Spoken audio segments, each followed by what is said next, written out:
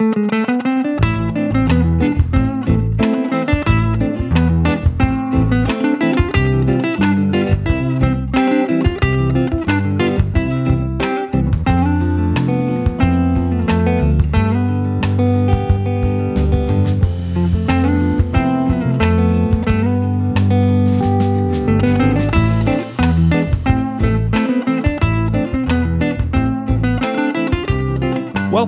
welcome, welcome, welcome, welcome, welcome, one and all.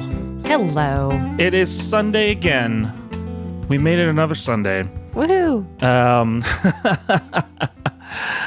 uh, welcome everybody to Crimes Against Folk. Um, my name's Edward Williams, I'm Ashley E. Norton. and we are coming to you live today from our separate places in California and Arizona, thanks to wonderful pieces of technology like Jamulus and OBS, uh, Loopback, Restream, lots of pieces.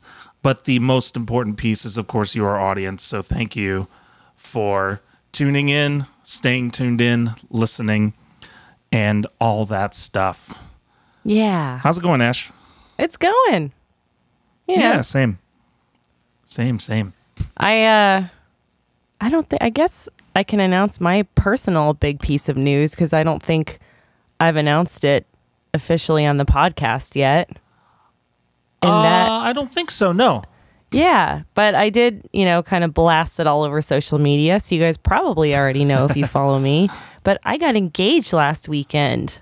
What? Yeah. I sure did. That's incredible. Yeah, it felt good. It was nice. It was Yeah, I saw the photos. They look really. They look really neat. yeah. Brad proposed to me in the one place that I asked him not to propose to me at. So it, it was a complete surprise. oh man. Everyone asked me, they're like, "Were you expecting it?" I was like, "Well." I mean, I was because I knew he had the ring and we'd been, you know, I helped him design it and we've been talking about it and I knew he had it. But Brad's kind of on this like massive delayed timeline, which is fine because I'm not in a rush to do anything, right? So, right. Especially not right now. right.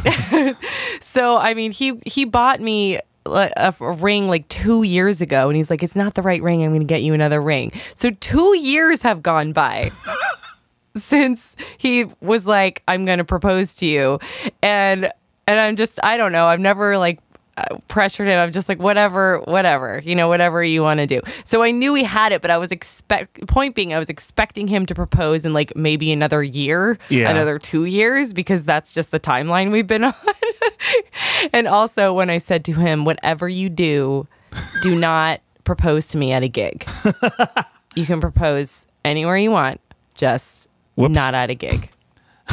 yeah. Well, no, he remembered this, but so was we were at the gig and he had the ring.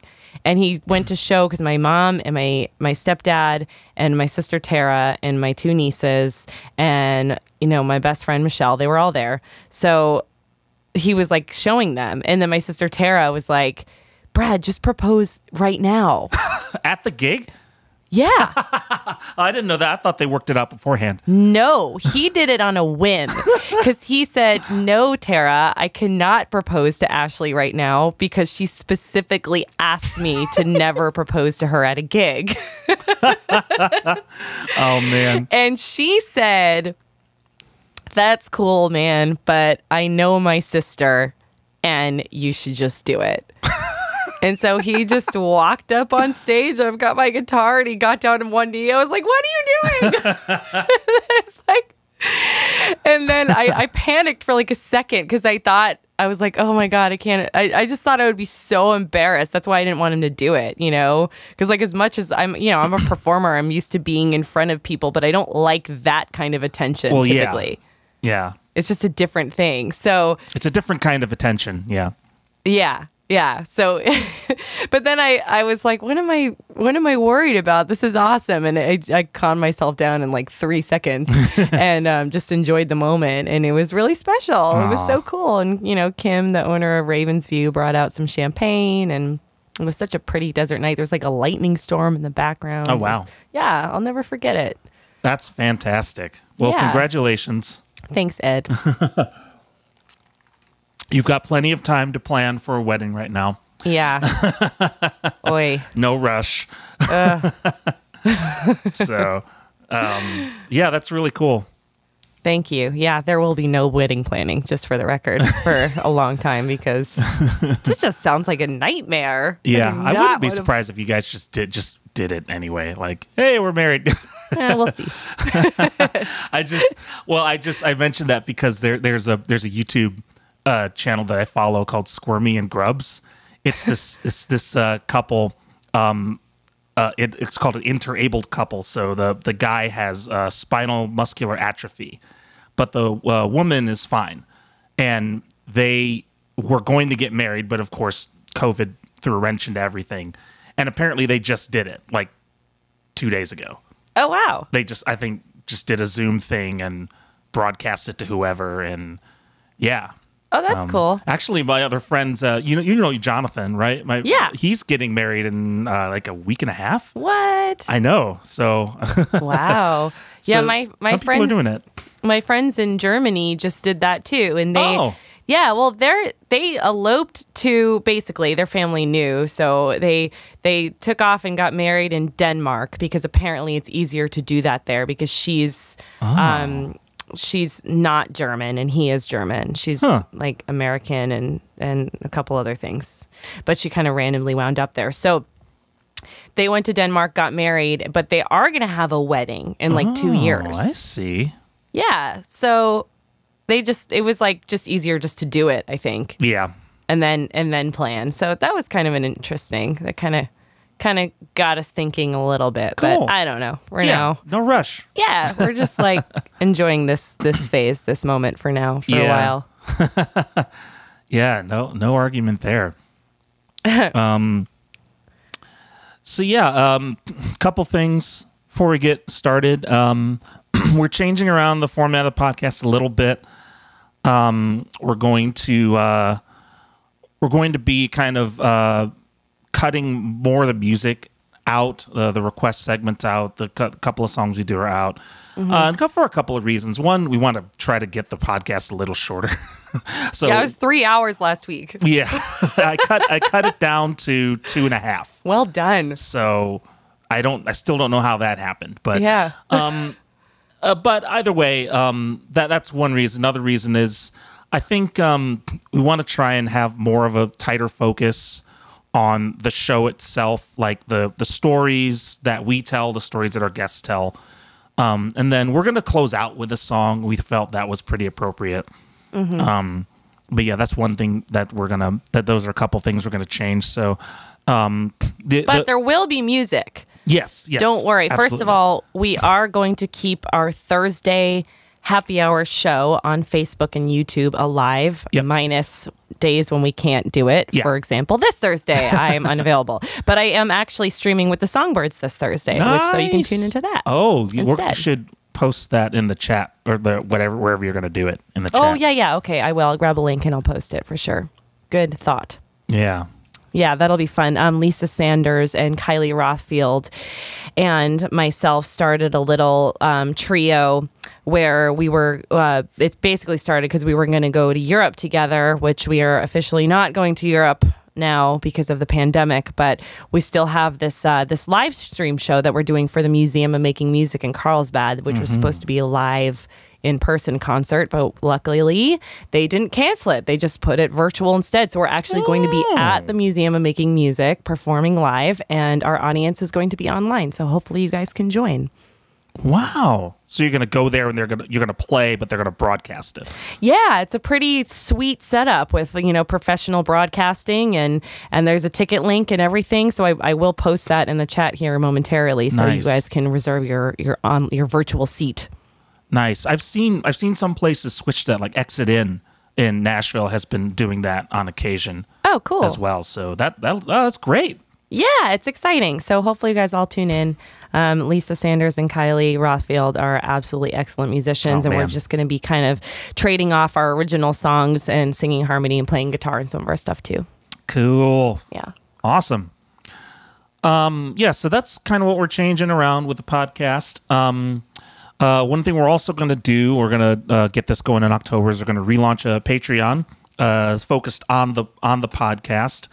Um, so kind of keep a lookout for um, uh, the page and all the uh, um, tiers we're going to have. Uh, I have a list there, but I just don't have it in front of me.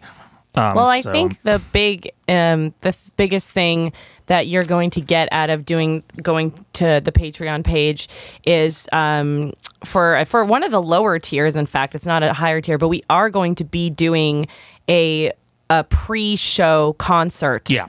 every Sunday. It's going to be maybe 20, 30 minutes long that you can join only if you are, um, uh, um, if you sign up for our Patreon page. So that's going to, like Ed said, it's going to launch in October. So we're, ta- it's kind of funny because we're taking the music out of the podcast, but we are encouraging you to support us on Patreon for not very much money a month. And you can get this bonus concert every single week by doing that. And we're making it early so our European friends can join. Yeah, yeah. That way, uh, we can still kind of keep it in the same time frame for a European uh, uh, fans, but also just kind of have it outside of the podcast, so we can get some separation and again try to make the podcast a little more focused and a little shorter. But we'll see how that goes.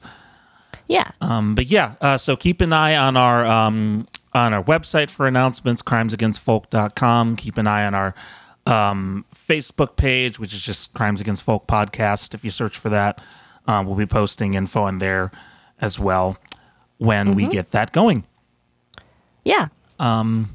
This week, we're going to do things, uh, this week and next week, actually, we're going to do things a little differently um, in the podcast itself because we have international guests. Um, and they are still calling in live. So it's even though we're doing this pretty early, it's still pretty late for them. So we want to try and get them in as early as possible. Um, so uh, with that in mind, we will get started introducing our guest this week, uh, the wonderful Colin Maddocks. Um, how did we meet Colin? Did we meet him through Rob Ellen? no, we met him through David Connolly. David Connolly, right? Yeah, our good friend David Connolly, who lives in England, and uh, we met at we we uh, met through a friend in Nashville. That's right.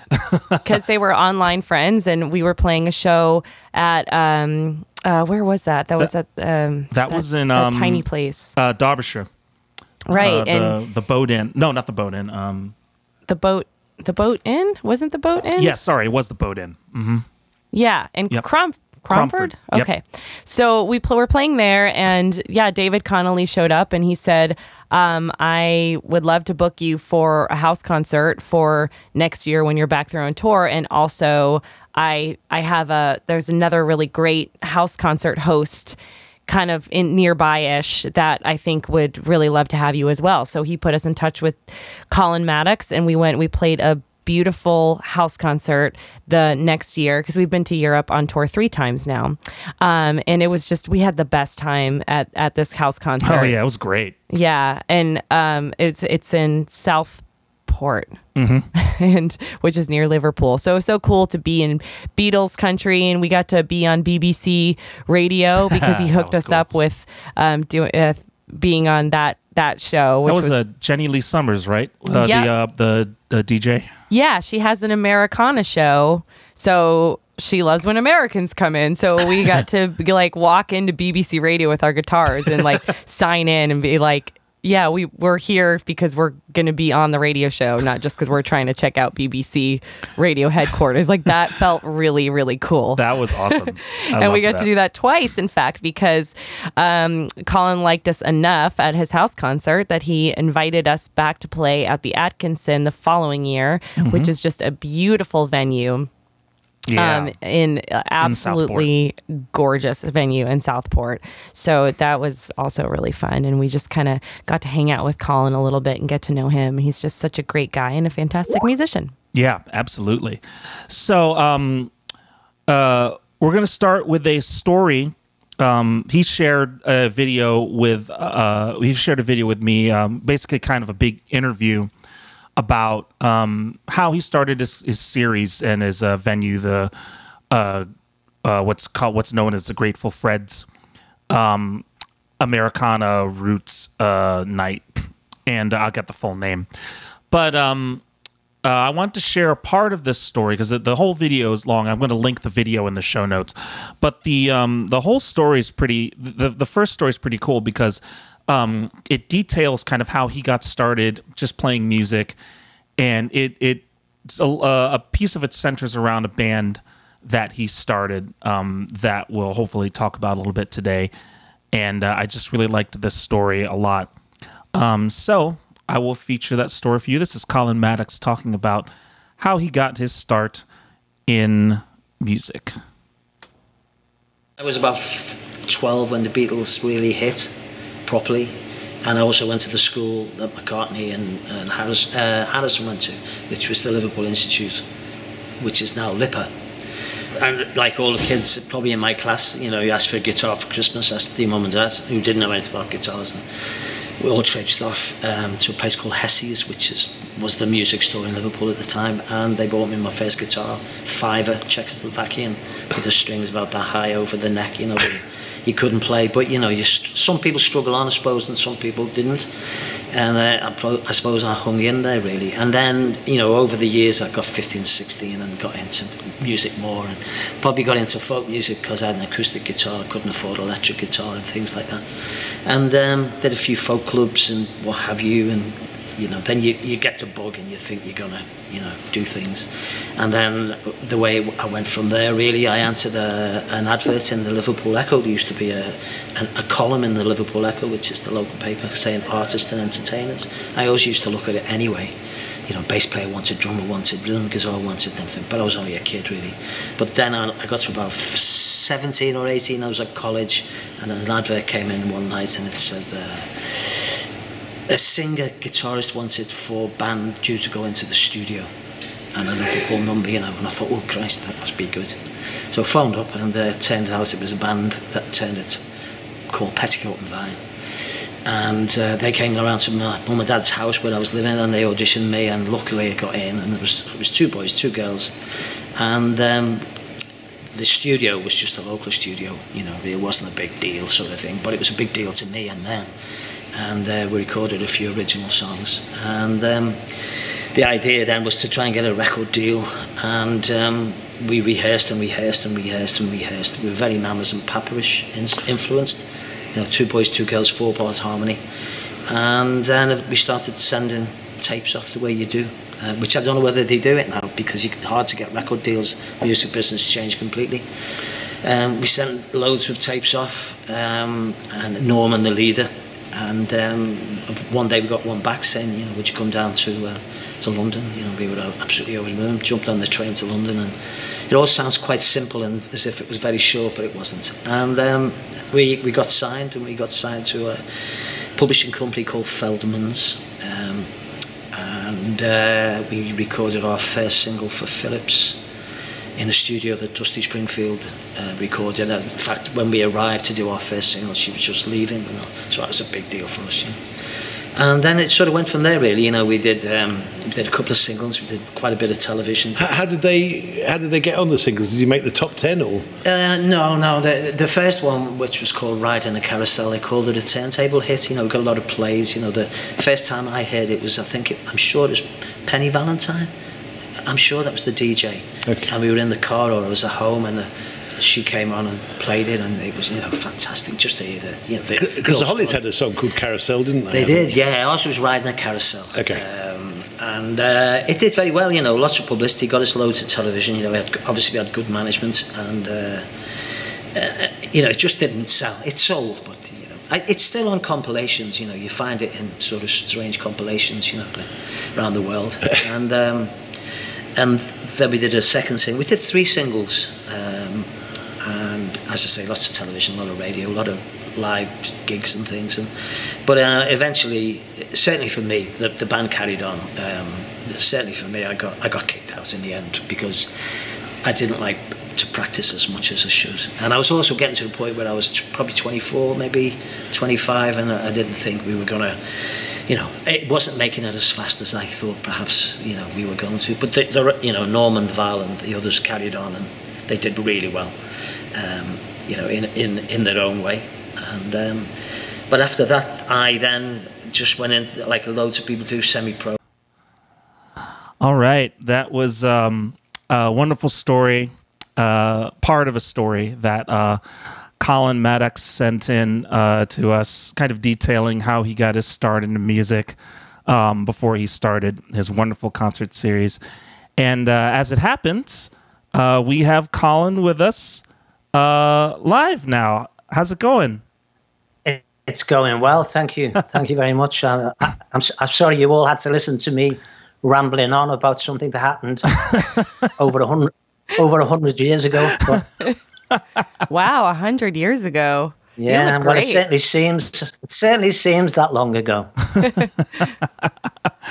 Oh well, uh, it's I'm I'm uh, glad that you I'm glad you did it because then we wouldn't be here talking to you now. We wouldn't have been able to play your wonderful uh, concert series, and it's been really course, fun. of course. Uh, it's been really fun just kind of uh, being in touch with you every now and again. And I, I played that part of the story in particular because I remember when you posted something about this band that you were in, and Yeah. I listened to one of the songs, and I'm like, this is directly up my alley. Oh yeah. like the kind of sunshine pop style Yeah. from the 60s is just wonderful. I, I I just absolutely love it. I mean, did well how how much fun was that for you at the time? Um, oh, it was it was fantastic, um, fantastic fun, you know. Um, and I'm speaking for the the other three. Um, yeah. and, and we're still friends and, we- and, we- and we still get together. Um, but it was, you know, I mean, I think when I joined the band, I was maybe um, 18, 19 sort of thing. So um, it was very exciting. And especially, um, I joined the band, as I think I probably said on that video, um, because I'd seen an advert and the advert said um, a band shortly to go into the studio. Uh, and I'd never been in a recording studio in my life. Did not, you know. uh, Yeah. Obviously, I'd, lo- the idea of it was fantastic, and um, as I say, when when when I auditioned, probably about six or eight weeks later, we were in a local studio. Uh, even though it was local to me, as I say, because I'd never been in one, it, it was still this magical sort of uh, um, atmosphere and and, and uh, location. Yeah. And then about and after maybe about six months after we'd done the demos and and sent them off, um, we got the the- you know the proper deal, the recording contract or the publishing contract, and uh, then we were in a in a really big, uh, you know, a big big proper studio. Um, so it was it was probably one of the most exciting times in my life, and uh, you know, especially being especially being so. I wasn't. Yeah, I wasn't. I was involved in music because I'd been playing in folk clubs and with friends and, and different little bands. Um, so yeah, it was like, like a dream come true, you know. Wow. What what was it like going into that going into that kind of a studio? Like what what kind of stuff did they have? Like was it just kind of like anything you wanted or like what was it? Uh, well, don't forget we, you know, we were coming down from Liverpool to um, the studio we first went into was um, at, at- at Marble Arch Marble Arch? in London. Yeah, right in the middle of London. Ooh. And um, I, I just remember it's a big white building. And um, as we, we were coming out, the Dusty, as we were going in, Dusty Springfield was coming out because that's where she, that's where she recorded. So you know that was a big thrill. oh wow. Um, and and then the, we were with we were with a big publishing house called Feldman's in Dean Street, um, which is Tin Pan Alley, I think. And um, I sp- I mean, if you if you saw our first television uh, show, which is on the website, we were like rabbits in caught in a headlight, if you know what I mean. you know, we looked so we were so nervous, and I think we looked very nervous. Uh, and I suppose we were the same in the studio. You know, it was. Uh, you know, it, it, we were in this first demo we did was in a small studio in Liverpool, and then we went into this, you know, what would, big studio with you know real musicians, big, you know, producer, arranger. Um, it, it, it, I, I mean, it was a long time ago, as I say, uh, um, that, but uh, we we did the business. You know, I mean, I think we got three. I think it was like three hour session or, or six hour session. You know, you had to do things, and it had to be done in three hours or whatever they Oh my gave gosh. you. You know, you it, it, it, it wasn't the luxury of keep going till you get it right. But the, the good thing about it is that we had rehearsed and rehearsed and rehearsed.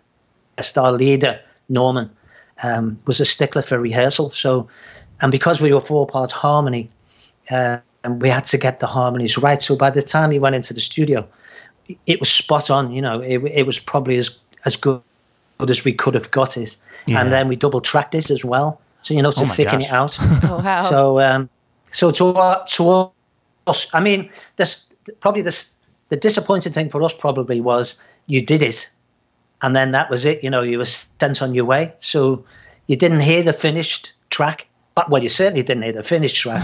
but I don't think we heard even a guide track. Really, it was like a couple of weeks later when they sent the uh, the acetates, which I've still got in my drawer here. Oh, nice! I've still got the acetates. And they, when they came, that was the first time we'd heard the uh, the mix.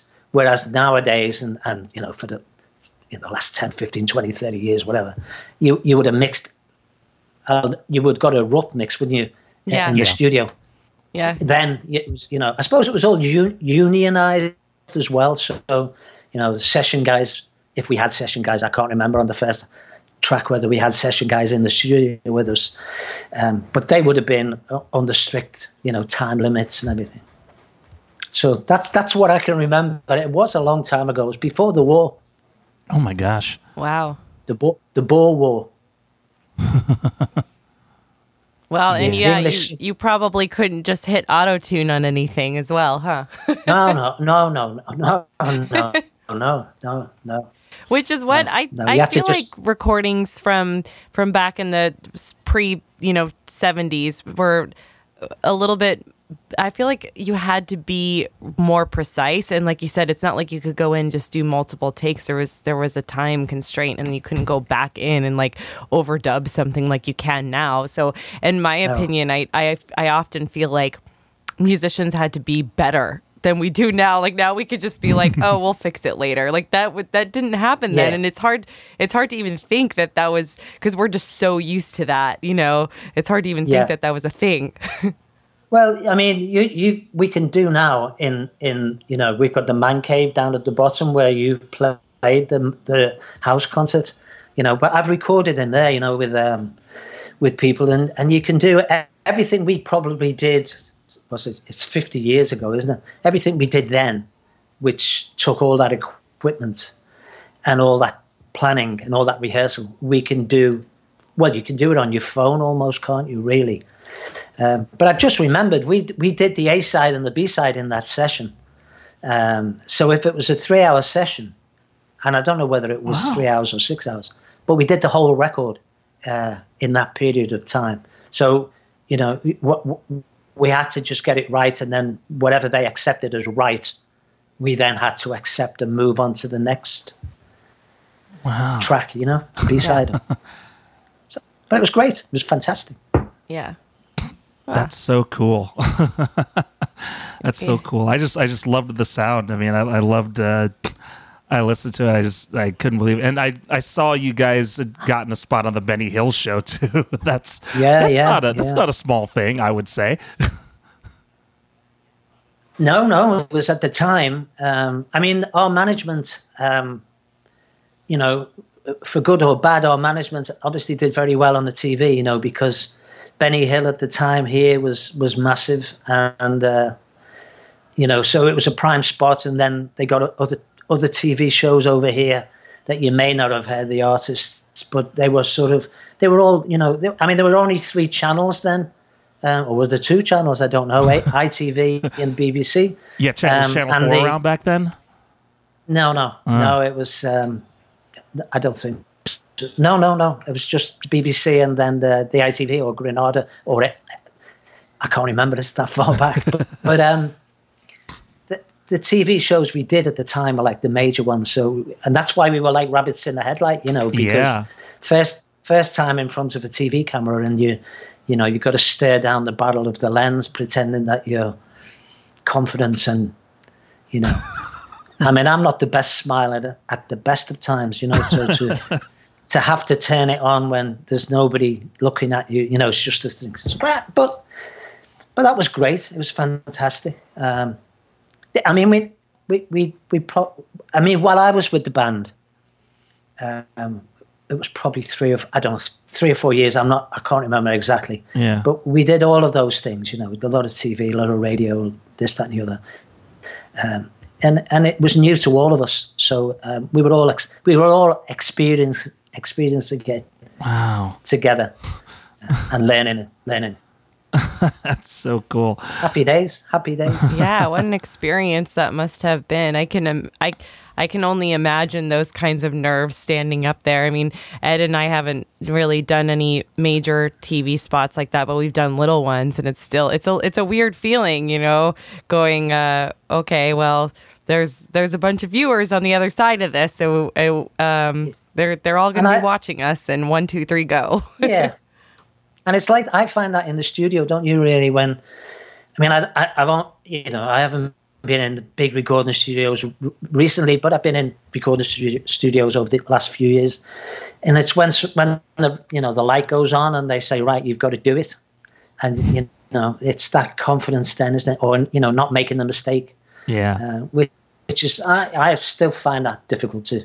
You know, to get a, a good first, second, third, fourth, fifth, sixth take. Do you close Thank- your eyes when you record in the studio? Or- Uh, depends what I'm doing. If I'm playing the if I'm playing the bass, I have to look down to see where to put my fingers. Uh-huh. But uh, because I'm not that good. But if I'm singing, uh, yeah, probably, yeah. You know, finger in the ear and earphone over one ear and all that business. And Yeah. um, and, and especially if you sing in harmony. I mean, you you guys sound fantastic. Your harmonies are great. Um, so you know what it's like. You know, you you've got to get that blend. Um, and I love singing harmony, which is why Petticoat and Vine was such a buzz for me be- and for the others because we were all massive Mamas and Papas fans, and um, you know it was our sort of version of you know, the mamas and papas with four part harmonies. And four part harmonies, you know, it's a little difficult, isn't it? You know, try, especially if you're the person who's been landed with the fourth harmony. Was that you? It's great. well, if not if I could avoid it, no, not really. But uh, because you know, third harmony is bad enough, isn't it? But if you get landed with the fourth harmony, and you've got to find it, you know, the elusive fourth harmony. Yeah. So not But- not so easy. Yeah. it's, it's often not even there. And you're like, well, just do an No. octave, I guess. No. or maybe that's just what I that's do. why. But that's why when you hear bands like you know Manhattan Transfer years ago, or the Fifth Dimension, and you know th- those people when there's four or five, and uh, you know they get and they all get a harmony, uh, it, it- and they, they, then you get that sixth or the fifth or the fourth Ugh. o- overriding harmony that's only there because of the blend. Yeah. yeah. And that that's what and that makes the magic, doesn't it? You know, like the Mamas and Papas yeah. Papas had that, didn't they? You know, that extra thing that comes out over the top, which I hope we had. It You know, sounds I like it. We, Oh, yeah. we got it.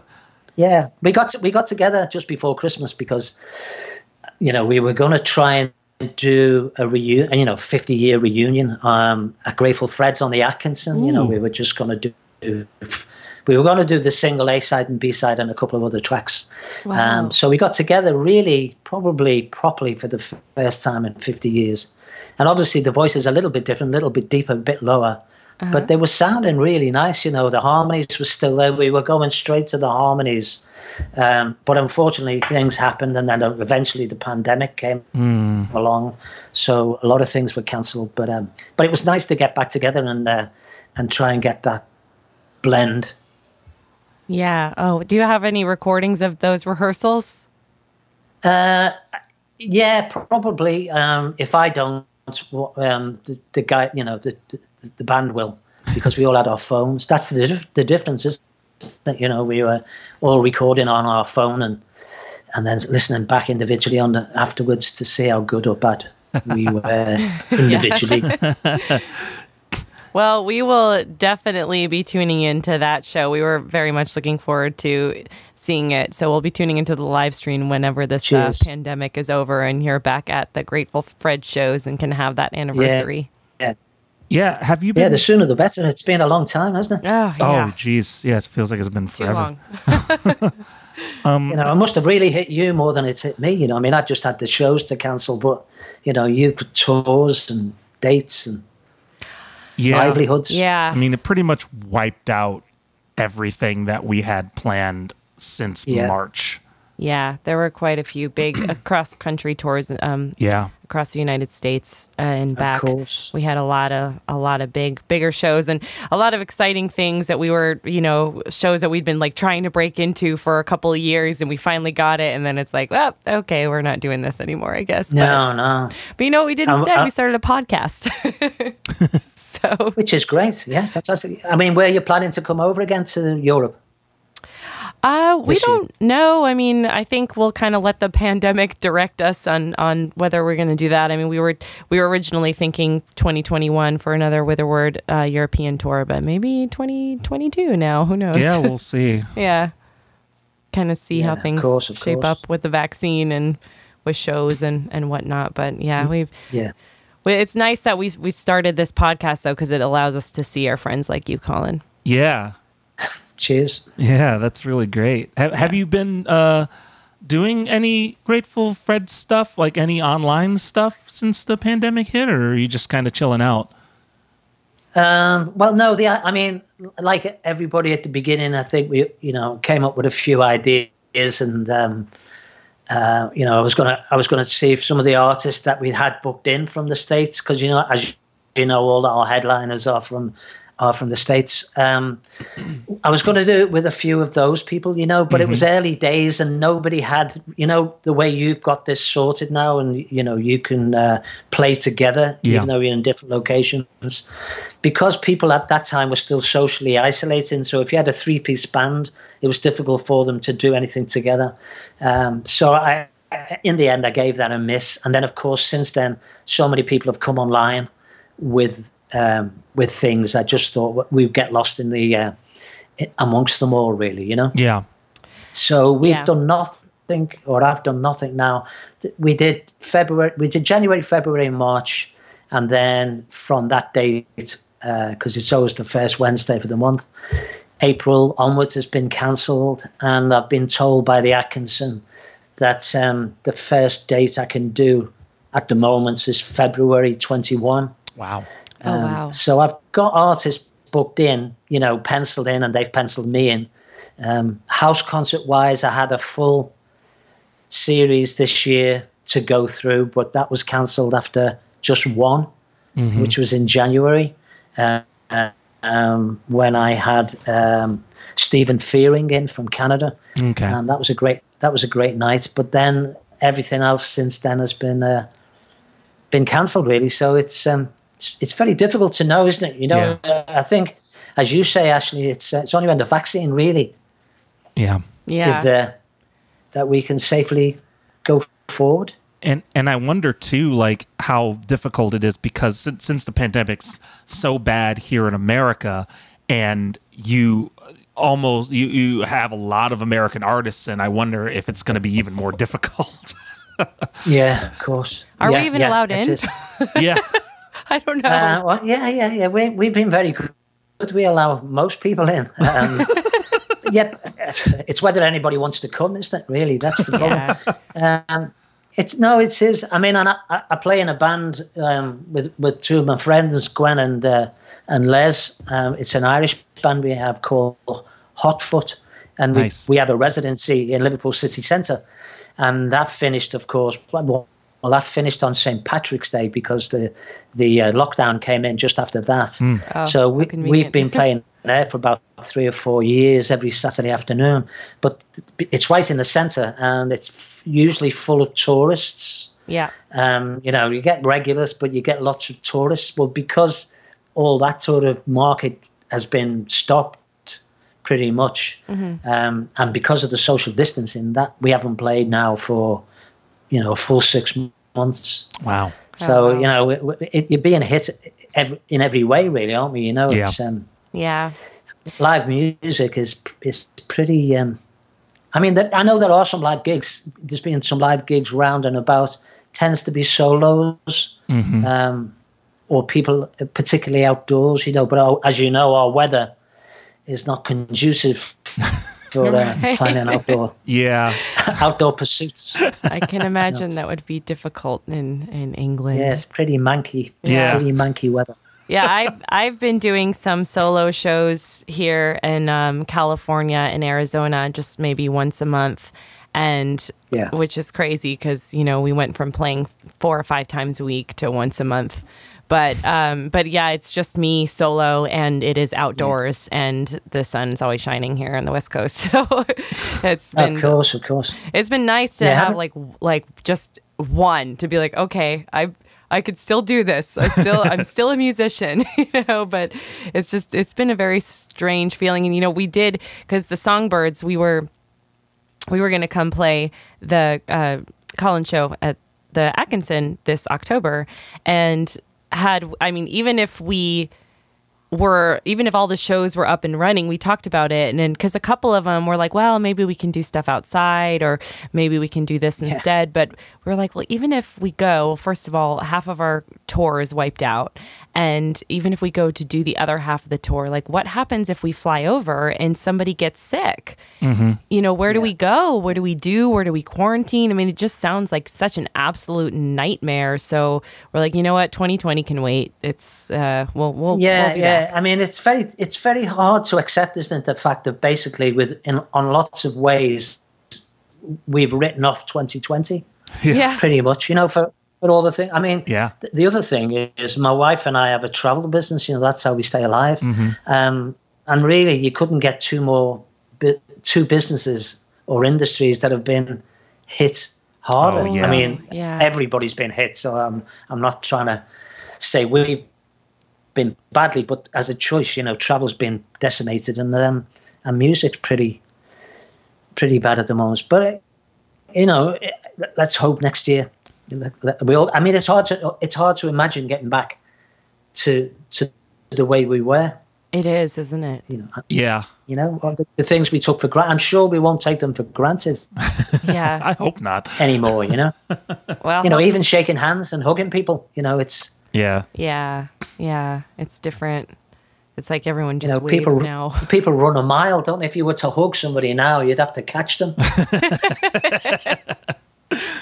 You know, e- even my wife, even my wife keeps a wide berth, you know, yeah. which, which is not, not cool. Oh. Well, I'm sorry to hear that about your travel business. That's unfortunate. I mean, I think the thing that we can hold on to is when when it is safe to be traveling again, I think it's going to to just absolutely blow up like crazy. Everyone's going to want to go everywhere and just completely explode with travel. So, I think you No, have I that think, to look forward I, to. I think you're right. I, think, you're, right. too. I do. Yeah. Um, that's that's an interesting thought, though. Uh, someone in our chat kind of um, mentioned uh, what does the UK have any kind of uh, business uh, grants or assistance or anything? Are they doing anything for like Yeah. artists and stuff like that? Well, yeah, it, it depends how you sort of structured your um, your career, really. You know, I mean, because we're because we have a travel business, we're, we're self-employed on the travel side. So the government have been very good. You know, they they have been given grants out, um, which you don't have to pay back because you know it's a grant as such. So that's kept us alive um, f- f- since April, really. But but that stops at the end of October. Um, but that's because we were self-employed. If you were a musician, some musicians, you know, set themselves up as limited limited companies. You know, some musicians set themselves up as so- self-employed, and then and then it, some musicians really um, probably weren't that organized, or you know, they, they were semi-pro maybe, but Yeah. so so you know that that part of their uh, income is it's a difficult sort of um, area. But uh, as to say, if you if you there's different business structures. Some of them were supported, and some of them you fell through the cracks. Yeah. Um, look, luckily we were okay, but I do know people who have fallen through the cracks, and you know it, it's very very difficult because um, you know you, you can get basic benefits in this country, but it's not an awful lot of money. You know, it's it yeah. it's less than a hundred pound a week, I think. Um, so if you've got a family and um, no other income, a hundred pound a week you know, it's not going to go very far. Yeah, it's Yeah, not gonna do that's anything. rough. You know, it. You know, but I know it's the same in the states, isn't it? You know, yeah, I mean the states you had the added uh you had the added bonus of 50 different governments trying to figure out what to do. Um so I think and and yeah, most of them weren't were not set up at all for helping self-employed people because most well uh, most musicians are self-proprietorships or Yeah. uh you know, we have a limited liability company, but not everybody does that. So I think you're in a little better position if you have some kind of like some kind of structure like that. If you filed as, but uh, if you filed as a, a sole proprietor or an LLC or something, Yeah. but Yeah. you've uh, a lot of states kind of scrambled to get something in place to help those people because the unemployment systems they they didn't know what to do with self-employed uh, people. Like they they had literally had no structure for it. Yeah. So they had to scramble to get something ready in you know a matter of weeks. which was interesting. Yeah, so yeah, we didn't it's- have it's an income for a long time. I think our last show was on on March um, seventh, and Yeah. we didn't. I, I think our empl- unemployment benefits didn't kick in till Like late April. late April, so it was very scary. Yeah. And then even then, I mean, my my uh, I have a family member who's um, a hairdresser and has been applying for unemployment and just has not received it and Mm. can't get anybody on the phone and it can't send in official emails and letters and everything, and just nothing. Yeah. So No. it's, It's a yeah, mess. No, it's a mess. yeah, it is. I, I'm sure it's very much the same here. You know, you do read some horror stories, and Yeah. you know, I mean, w- you know, Barbara and I are lucky because we're older, and uh, you know, our house is paid for and things like that, and you know, we've got savings and things. But you know, we weren't planning to use our savings. So, but it, you know, it, it- you know, we're very lucky, and you know, I, I absolutely realize that. You know, it's um, people in some terrible situations, um, but Yeah. nobody could foresee this, could they? You know, even, No. even you know, as I say, we finished on St. Patrick's Day, uh, and I don't think we really took it that. You know, we took it seriously, but nobody could have foreseen that. You know, all six months later, we'd still be pretty much in the same situation. you Yeah. Mm-hmm. I don't think anybody really could could have You know, even even on the worst case, people I don't think were thinking about this. I think So- we had a similar thought. I mean, our, our last show was was March seventh, and like I said, or eighth, I can't remember. It was in. It was at a, and it was a great last show to end on. It was at one of our our favorite venues that we play up in Napa, Oh, yeah. um, called Jam Cellar. So it was kind of a good one to end on. Great crowd, and um, yeah, but uh, we we drove away, and we were kind of like we knew that was going to be our last show, and we didn't know for how long. And it's it's crazy to think that it's still Yeah. that Yeah. it still was. we tried planning like we were talking we tried to say all right well let's see what we can reschedule for september of course. And- yeah. Yep. That's right. Well, first it was let's see what we can reschedule for June. Let's see what we can reschedule Yeah. for September. And I think now we've just given up. And everyone's like, Yeah. "Well, when's Witherword going on tour?" And we're like, "We are we are not planning anything right now. Like we'll just see No, because no, we no. have no idea." No. well, we met uh, the band met for lunch in the week, and uh, you know we're we're all um, of an age. So I've got to be polite here in case one of the band members uh, gets me after this. But you know we're all of an age where we have to be careful. yeah Um, so so you know we've got to think of those sort of situations as well, haven't we? You know. Um, Yeah. but you know we were the same We- wh- when on earth are we going to play again it's uh, you know I, I I've, I've played my bass a few times um, but we would certainly need to rehearse a, a number you know this and this we're talking about a show that we've done for four years you know. When, Yeah. when I say a show you know we all the songs we've done we we we we used to just know them backwards. Yeah. like clockwork you know. Three hours easy bam bam bam. Um, but you know six months off I, I would I was hoping I could depend on muscle memory. You know my fingers would just go there automatically. But uh, you know it doesn't follow does it? You know it's uh, yeah. God knows what we would sound like when we first get back together again. If we do.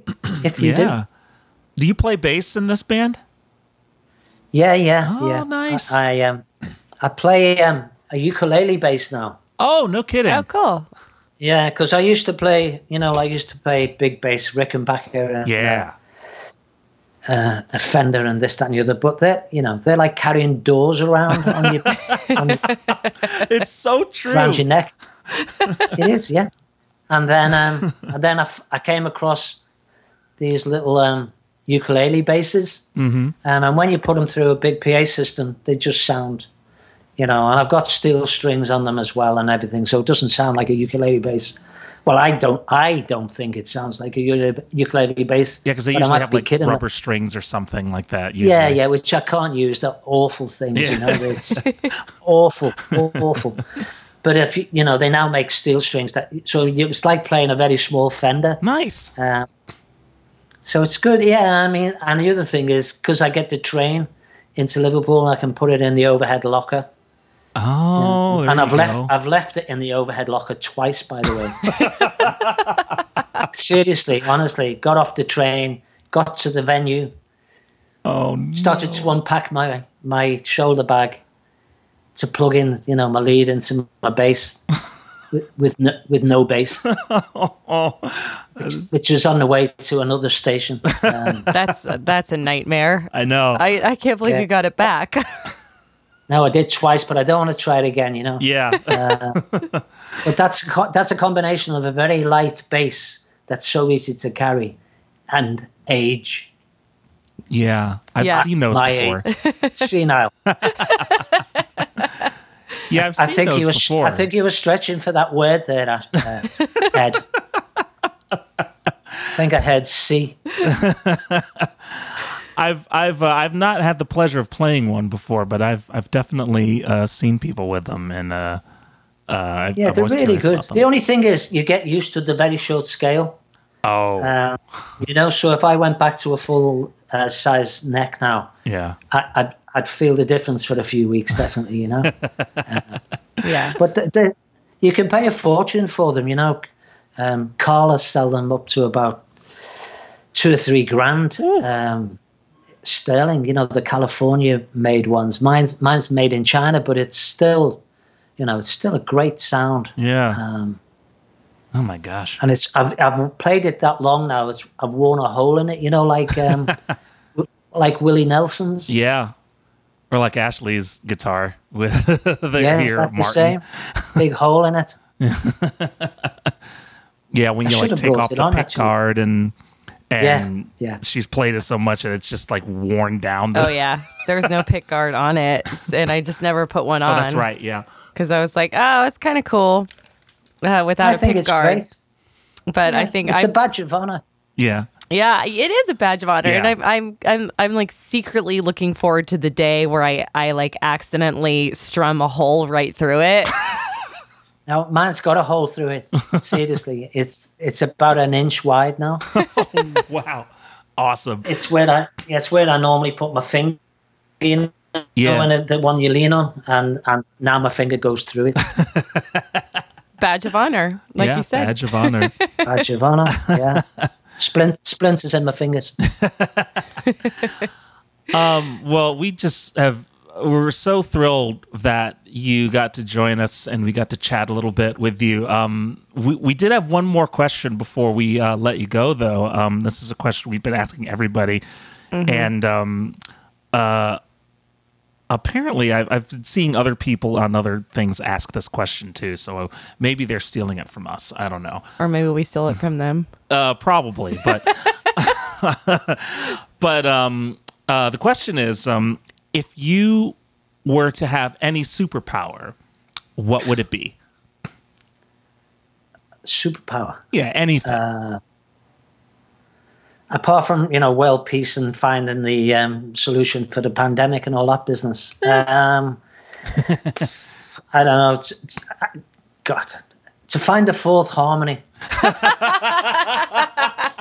Bec- because our, our leader in Petticoat and Vine, Norman, who, who might listen to this one day, will admit that he's a, he was a hard, and he still is because we rehearsed in January, very hard taskmaster. yeah, And, uh, you know, like the, the piano teacher who used to nut, wrap your knuckles with a, a ruler. Yeah. Well, he, he- he would do the same mentally to us, you know, until, t- until we found the fourth harmony. So, uh, I think that would be my superpower. That's a pretty could- good I could, I could be superpower. in Crosby, Stills, and Nash, or anybody. Then couldn't I? I would be the. Yeah. I'd be. I would be the man to go to. Yeah, You that's would. true. You could be like a, a har- harmony for hire, and you nail it Harmony every for time. hire. Fourth harmony in particular. Yeah, Yeah. Fourth harmony. I think that's my favorite answer yet, Colin. yeah. it's a really good one. I was a bit. I was a bit desperate. I'm afraid. it's a very useful one. It's a very, very useful Yeah. superhero power. Especially in our our profession. Oh yeah. Where can people find more uh, about you on the internet or uh, just wherever? Uh, well, there's there's www.gratefulgratefulfred.co.uk, and then for the band, uh, the old you know the band that we were talking about, it's just Petticoat and Vine, and it's A N D, so Petticoat and Vine. Vine.co.uk, and that's got all the you know the videos of the the e- early TV shows, and then you know the Facebook, which I think is under my uh, my chin at the moment on the video screen. Uh, Grateful Freddy, uh, but the but the main Grateful Fred site's got the hopefully upcoming concerts, the history of Grateful Freds, and um and the house concerts and everything. So you know, be great if anybody visited those. Yeah. Yeah, yeah. Please do, please do visit. Please check out Petticoat and Vine. It, you're in for a real treat. Yeah. um, it's some wonderful, wonderful music, especially if you're a fan of that time. And also, um, pandemic or no pandemic, when when the Grateful Fred shows kick off again, Colin uh, live streams every single one of them, so you can watch these Mm-hmm. shows, these fantastic shows with uh, it's Americana music from wherever you are in the world, and we tune into them from time to time, and they're they're really excellent. Including yours, of course. Yours were on, aren't they? 'Cause Yeah. we did Yeah. yours. Yeah, in fact, the replay is probably still up there, right? I'm guessing. It is, yeah, it is, yeah, definitely. yeah, we'll drop that And link so fact- people can rewatch yeah, it. and I think the Merseyside Radio BBC is probably on the. Ooh, Oh. we should see if that's on there. Yeah. That's right. That would. Yeah, I think I filmed it. I think so. oh, that's right. Yeah, Yeah, you live streamed that. That's That's, right. right. Uh huh. Yeah, so that will be on there. Okay. We'll have to drop those links so people can can rewatch those as Absolutely. well, or just go to the website and the Facebook page, and you might just find it. Yeah, we'll put them in the show notes too. So, Yeah. Um, but yes, thank you again, uh, Colin, for joining us. It was wonderful to catch up with you and wonderful to chat. We really Thanks appreciate very it. much. Yeah, I'm glad you're ho- hanging in there, and we Yeah. look forward to your shows kicking off again here real soon. Absolutely. Yeah, and come on, come and play. We will. Yeah. We will be there. Yeah. Great. Absolutely. All right. Take care, Colin. We'll talk to you soon. Okay. Yeah. Take care. Bye now. Bye bye. Bye. Thank you. Bye now.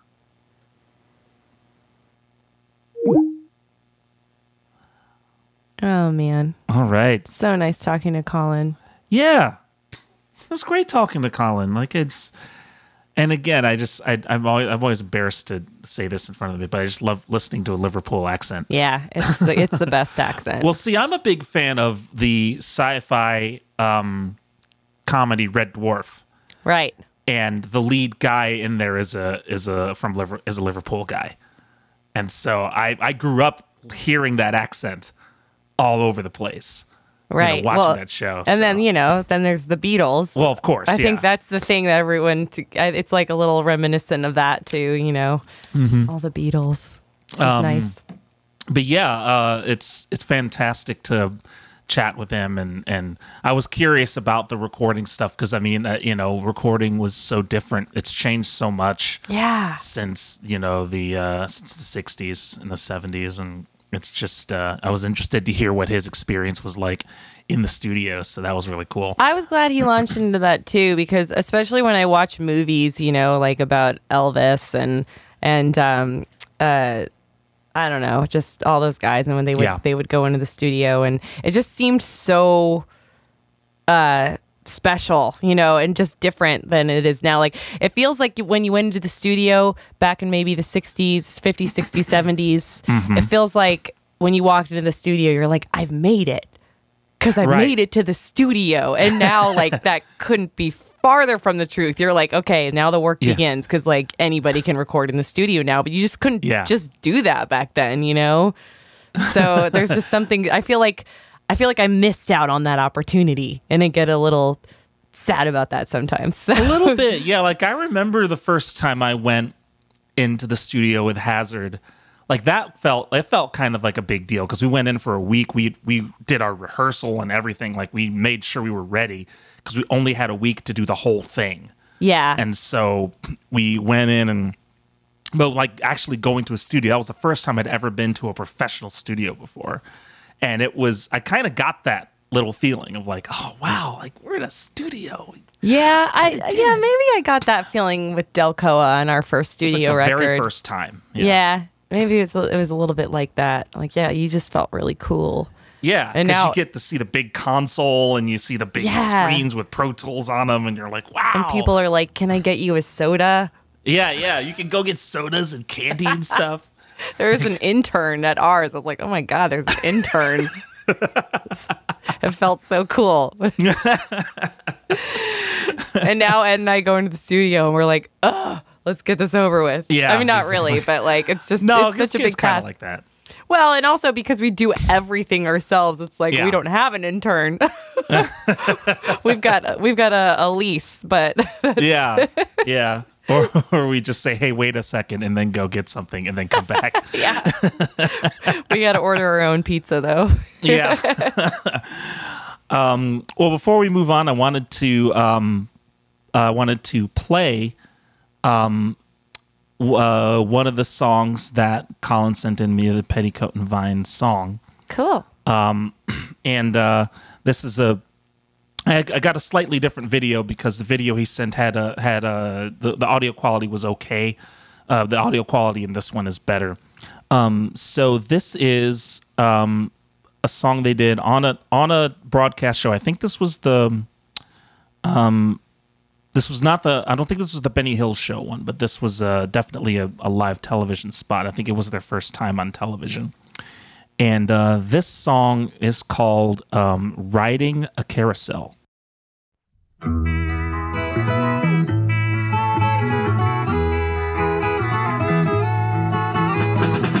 I'm riding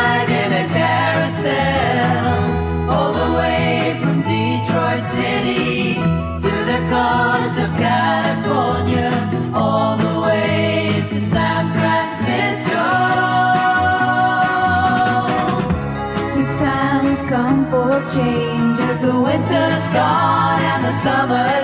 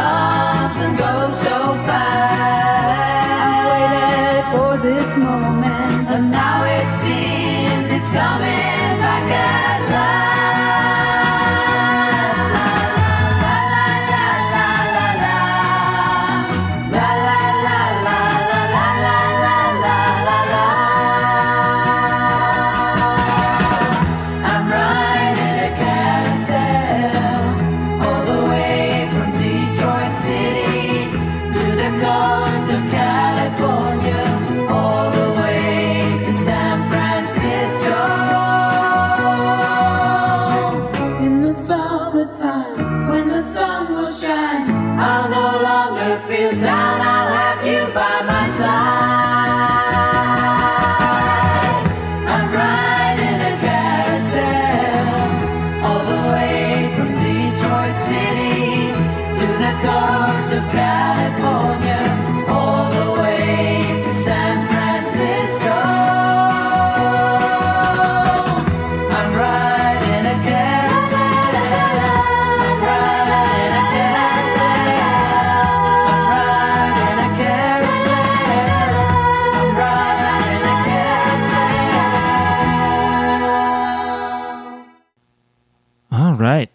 So that was Riding a Carousel by Petticoat and Vine.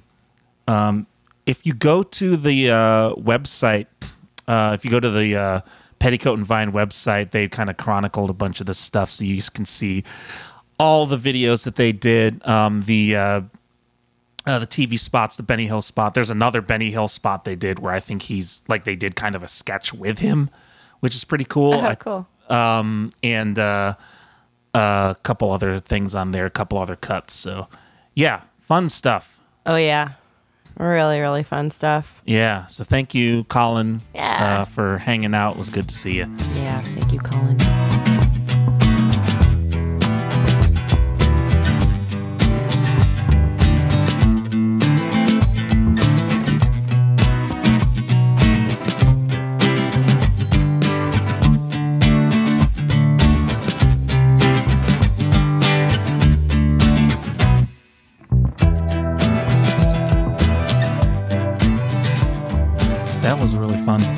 Yeah. All right. It's show and tell time. Woohoo! um, you know what I was about to say just now? what? Oh, Ed hasn't shared this photo with me. I literally say that every single show. And then I remembered, no, you did share it with me. Just, I don't know what is wrong with me, where I have this block on on remembering that I've seen the photo and what photo it is. One of these time, one of these times, I'm not going to share it beforehand, and you're gonna be like, "So Ed shared this photo with me today," and you're gonna say some random photo, and I have no idea what you're talking about. What if it's the right one though? That would be, be super amazing. creepy. yeah, then, then I would, then I would, uh, we would have to start thinking about your career as a TV psychic. yeah, well, I know. I feel like that would be a great second life. Yeah, since Miss Cleo's gone, we have lots of room now. You know. Yeah. um. So yeah, I, uh, it's my turn to um, it's my turn to share the video, uh, share the photo this time, and uh, uh, went back a little bit further. I believe this was um, well, a little bit earlier. I think this was 2016.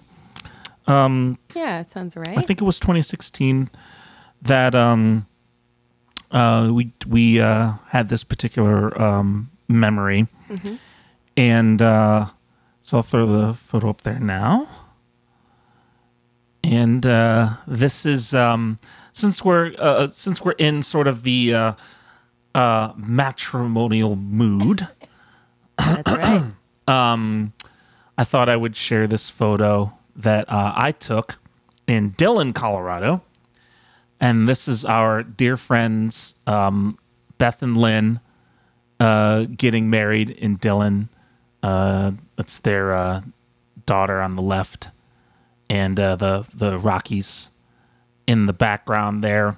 Um, and we were hired to play this wedding um, by Beth and Lynn and I thought it was I thought this was an interesting memory just mostly because of how we met Yeah. Beth and Lynn was uh, was I always thought was a really interesting story um but I can't I, I can't quite remember it as well um how we actually met them Oh, I Um, remember it.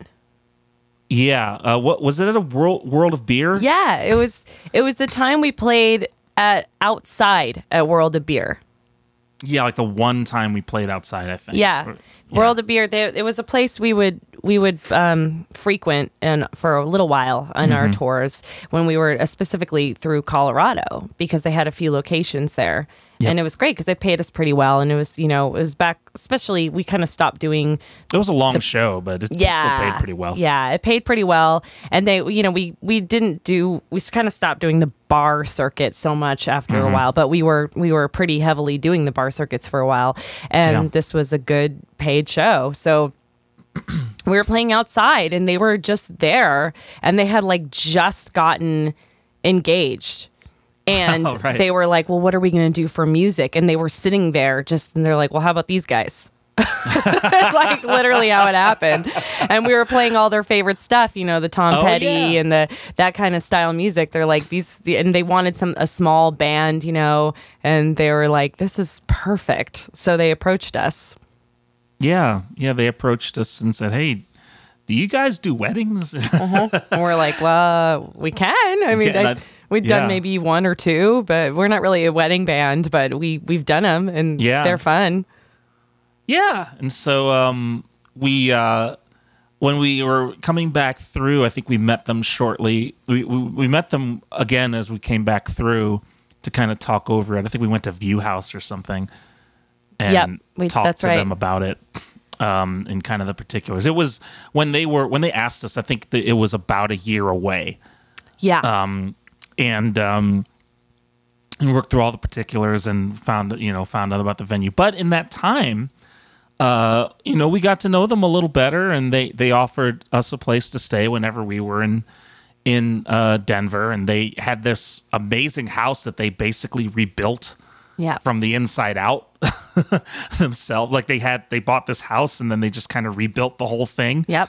themselves, which is amazing. It was a really great layout and and then we even yeah, they're like anytime you guys want to come through and stay with us as long as you know we don't have other company you can stay Yeah. and and I mean beware if you ever say that to us. I mean maybe now that we're not touring it's probably safe, but uh, we we would show up and we would often have people be like, "You know, everyone says they're going to show up, but you guys actually do." we're like, "Well, I don't know if that's a good thing or a bad thing, but Right. so yeah, we got really close to them and um over like yeah, before their wedding and after they would have us stay and they even put on a couple of house concerts for us at their house which was Yeah. kind of nice for like cuz they really and they they made it they're like we you know our wedding is going to be so small that we want like everybody there like including the band to like be friends and so we're like okay Yeah. so we just kind of sparked this awesome friendship with them Yeah, and be like, and yeah, so we felt kind of like part of the family, which is kind of nice. yeah and yeah we've gotten to know their family and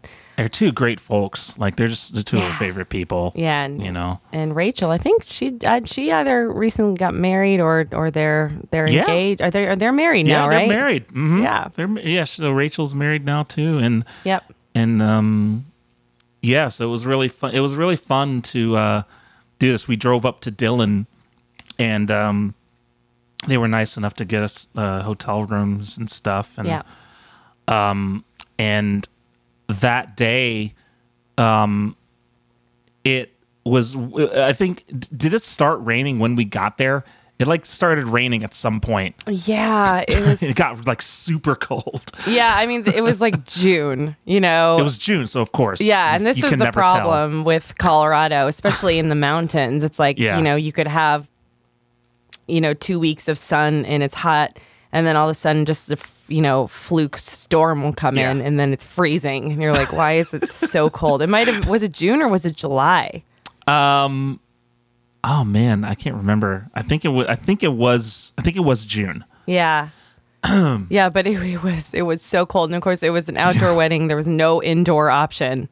It No. was like we've this this is happening outside, whether we like it or not. if it's raining, still happening outside, and we're like, cool, yeah great for the sound equipment. But there was like a tented option. and I think they did put something up for i mean there was a canopy Right, that, right. that they had so we didn't get wet. It was just it was just wet and it was cold and yeah it got cold in a hurry. Yeah, um and the s- but it was beautiful. It was gorgeous. And you can see it made for this amazing photo. Like the photography was just incredible from that day. That was the silver lining. Like everyone Yeah. was really cold. But um you know and and eventually the party kind of ended up moving to a bar um, a Mm-hmm. nearby bar because it was just too cold to be outside at some point but um but yeah the the it, the skies like parted and and just cleared a little bit enough Yeah. for for beth to walk down the aisle um oh that's right yeah, to a song that that um, Lynn asked Ed to learn. It was a Tom Petty song. Here comes my girl, and It's a great. I that was one of my favorite parts of the whole thing. Yeah. we got ti timed it like perfectly. yeah, you nailed it. you nailed it. And then they, um, yeah, and then they the skies parted. They they like they said I do. They had a photo shoot, and then boom, it started raining again. Yeah. And never stopped. Oh man, yeah, it was it was great. And the, the the one thing I also liked, you know, it was still kind of a casual wedding. You know, like everybody was, as you can see, they're they're dressed pretty casually. Um, and um, one of the things they insisted on was like, hey, you know, don't worry about getting us gifts. Just take photos and send them to us. That was all they really asked for. Yeah. I mean, people could get them gifts they wanted, but they were pretty insistent on, you know, no gifts, just take photos and uh, take photos and send them to us. And that was like the important part. So I definitely sent this to them. Um, but yeah, that was a really that was a really fun time because it just you know got to see beautiful area and and got to uh, uh, you know celebrate with re- two really good friends who again are still our friends and still you know uh, Yeah. still great folks. And yeah, Yeah. I, I love Beth and Lynn. We miss them. we were going to see them in May on our tour that got We canceled. were, yeah. um, a couple fun comments and questions here in the chat that I, I want to respond to that pertain to this. So, first of all, um, my friends uh, Barbara and Jeremy are here, and I, I actually sang Oh, at their wedding with my band Delcoa back when they got married. So it's just kind of funny that they chose this moment to pop in.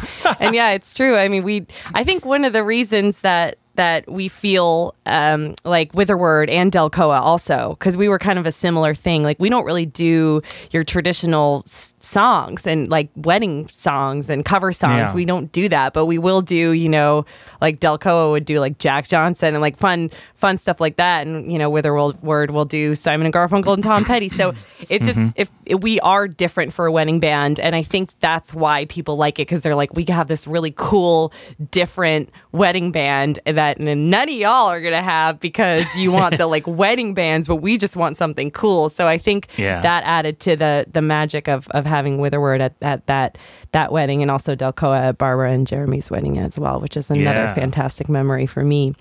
Um, and then this is a funny question from Danuta wants to know how does a musician choose musicians to play at her wedding question for the future which i'm guessing is directed at me That's a good point. I and that's funny that you should ask that because I haven't I haven't really like talked about it out loud, but it's it's something that's always in the back of my mind. Like what do I do for music? Because I mean, do you ask your friends to play? Do you hire a random band or you just they say screw it and have a DJ? Like I am not going to lie, it sounds so weird, but I kind of just want to say screw it. I'm just going to put on a a Spotify playlist. Which is so It's well, it's so little work. Like you, you there's so much work in getting because you know how the sausage is made. There's so much Yeah. work in, in wrangling musicians to get somewhere and having them learn stuff. Yeah, you're just like, forget it. I don't want to deal with any of that. No, I feel like I'm gonna have PTSD, or I'm gonna feel like like it's just gonna feel too weird. I think having like another band that I hired to play my wedding. I know um um my my ex actually who's a really good friend of mine we were gonna get married we didn't now we're great friends but i know he did get married um uh, well, unfortunately, he got married and she she very tragically passed away. So and he is remarried again now. Um, so this is how this is a very short history of, of our or short summary of our long history, I should say. But um, he's a dear friend to both Ed and I now. And his um, first wedding, they just kind of like set up the PA and just like any because half of their crowd was musicians. So So open mic. yeah, basically anybody. and he said there was never a lull in the music. Like everybody oh, wow. just got up and played like the whole night. And I was like, yeah, I That's know who your friends were who were at the wedding. And I can imagine that that's how that would have happened. That's brilliant, actually. it's kind of, it's kind of a, um, a trick. yeah, yeah, exactly. it's a hack. It's a great hack. Yeah, it's like putting out bait for a for a mouse or something. Yeah, right. Like who wants to play? That's just what I'll do. I'll just I'll just set up a PA and I'll put Aunt Millie in front of it. They're only Yeah, music yeah. all night long. She'll play. She will play all night. And then she'll just be the Pied Piper and all of a sudden all these musicians you'll be like, Who are these people and how did they get here? Yeah, because she knows everybody. So That's what I'll do. No, I I don't know. I, I guess suppose we should probably figure out what kind of wedding we're gonna have first before we figure that out. But- yeah, oh wow, we did Hava Nagila. I oh that's right. Wow, that is impressive. huh? They did nice. Hava Nagila. I would like to hear Delcoa version of that. I, I know. I kind I don't remember. I mean, I kind I remember doing it, but I don't remember it. You know. Yeah. So uh, maybe there's a video somewhere. That's awesome. yeah, Ed, we'll have to learn Hava Nagila for for some for something. Somebody's wedding. yeah, I. I, I would mind learning that. sounds like fun.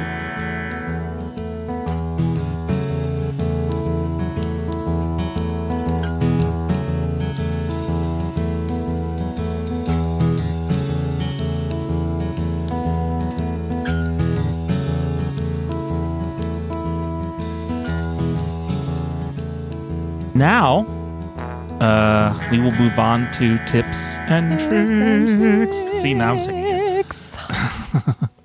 It's catchy. Um, and uh, this week, uh, we're going to turn it over to Ash, and um, she's going to have some uh, uh, really cool, um, really cool stuff to say about the online, um, the online uh, image editing tool known as Canva. Yeah. A really cool, really cool piece of uh, uh, software. Uh, I can call it software. I, I think that's really what it is, and it's, it's right. really neat, very accessible. So yeah, go for it, Ash.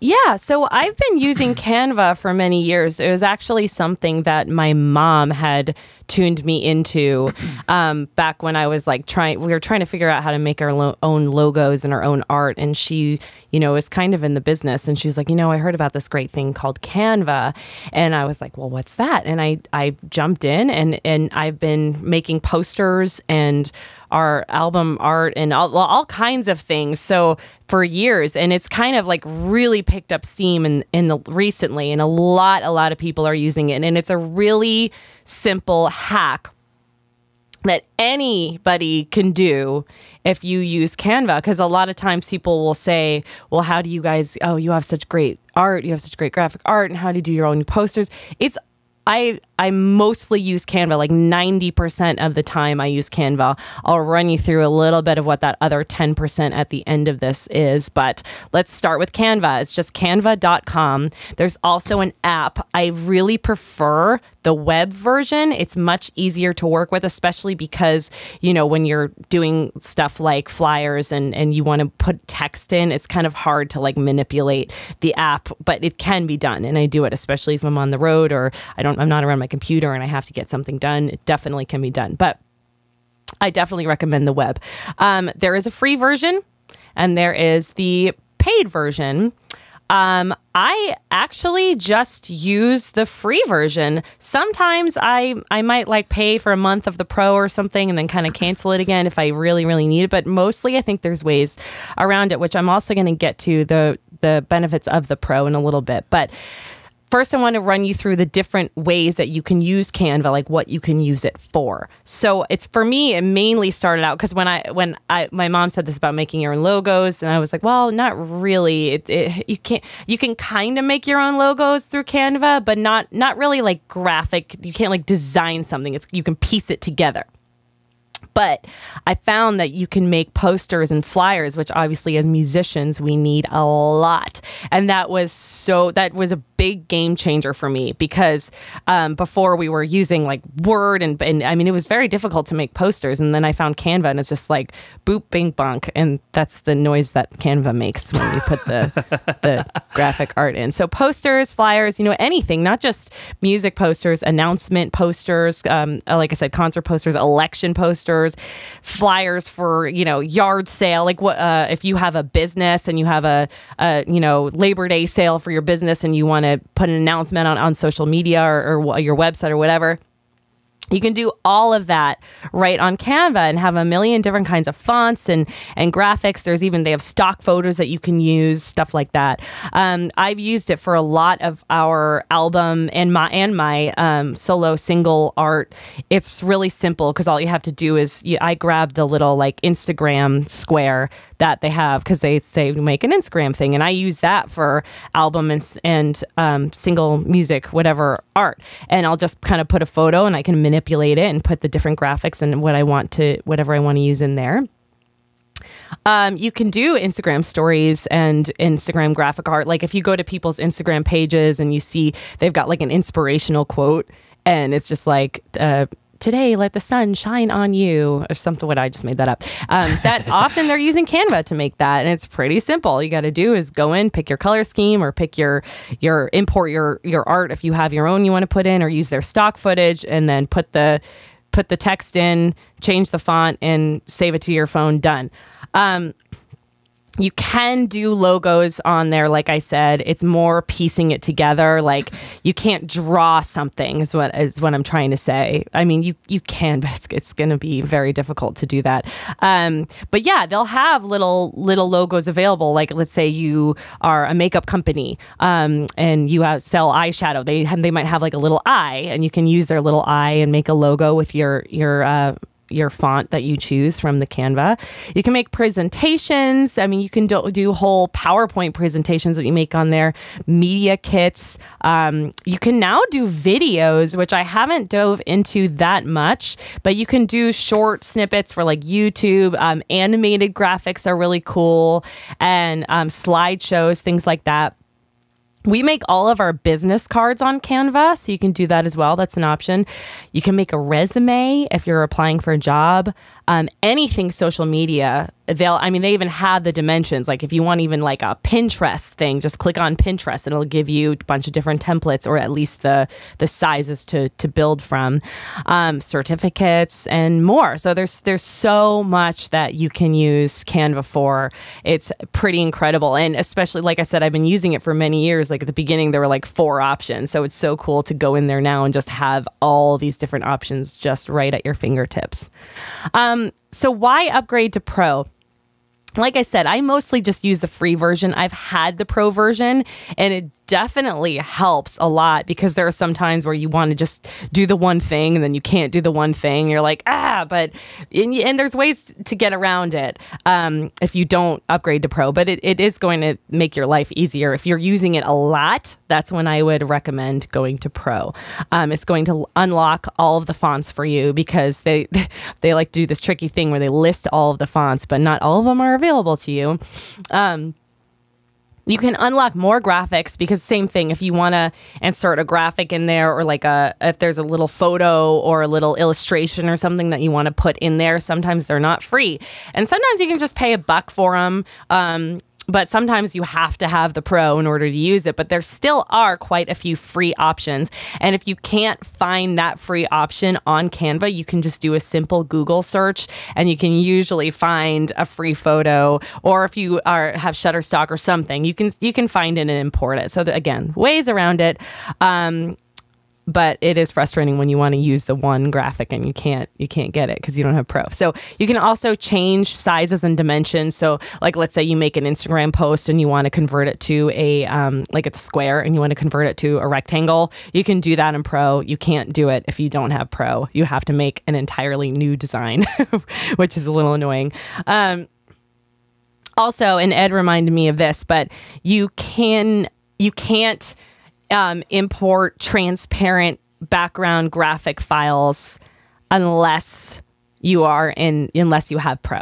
So this is important for things like logos and video overlays. So, you know, like take the Witherword logo for example. Um, if in order to like get it so it's just the logo if we're putting it over something so there's not like a white or a black square behind it, that's basically when you would want to use that. Um, so you can't things it it there are definitely has its limitations like it can't canva can't do everything um, so i do have to use some other um, like websites and other apps in order to make certain things happen that i want to happen um, like i said you can't actually create graphics so much i mean you can do the like the whole draw thing, but it's just not going to look very good. I would definitely recommend another program to do that. You can't really edit photos on Canva. There are filter options, but they're very, very, very basic. So if you want to edit your photo, I would do it somewhere else and then import it. Um, and you can crop photos and things like that but it's um it's yeah sometimes i i especially if i'm making album art you know you don't want to just like take your photo that you want to use for the album art and just import it and start working with it. You should probably manipulate it in a photo editing app get the photo exactly how you want it to look then put it into canva and that's when you put your text and your boxes and all that stuff on top of there um, there are some examples that we will show you as well that of all these different things that I've made on Canva for myself and for Witherword, so you guys can kind of see what it does. Um, but yeah, when you when for the other ten percent, the other things that I would recommend, definitely check out Shutterstock if you're not familiar with it. It's great for stock images. Um, you have to pay for it, but really it's worth it because I mean, if you have that makeup company and you want a very specific eye, you don't want just the eye that they're giving you on Canva, you might go into Shutterstock and you're going to have a million options to work with and you just pay a little bit or you already have if you're getting if you've got like the monthly subscription or whatever, you just grab it cuz you already paid for it basically and then you can throw that into Canva and work with it. Um, there is another newer app that I am starting to get into called Photo Director. So if you watched um, or listened to one of our earlier podcasts, you would have seen me do a tutorial on Power Director, which is a video editing app. Photo Director is the photo version of this, and you can do really cool stuff. So I threw an example out there to Ed um, that you'll see of a single the single art I did for a song called Modern World for one of my my solo pop songs that I've released recently. I did that on Photo Director. So I took a picture of me and I was able to find this really cool cityscape and and overlay it on top of my body. So now my body has like this cityscape, and then I was able to take that and put it on top of um, some clouds, and it just looked really kind of magical and cool. And then you can kind of adjust the levels and things like that. It does take it's it's not that easy to work with photo director. It it took me a long time to get that kind of perfected to where i wanted it to be but you can do really cool stuff on there that you can't do with canva if you want to do something kind of funky and really make it pop. Um, okay so adobe lightroom is my favorite editing software. Um, i use it to edit all of my photos. Anything you see me post on instagram has every single one of those photos has gone through Adobe Lightroom, every single one. And it's a natural editor, so it's not going to be like uh, you're not going to do as many funky things like you will as photo director. It's more like, you know, um, bump up the exposure or, you know, get rid of that like pesky, you know, twig that's in the background that you want gone or um or make the colors pop stuff like that um so yeah, I might do uh, tips and tricks down the road here entirely on Adobe Lightroom because I do use it quite a bit. So stay tuned for that in the future.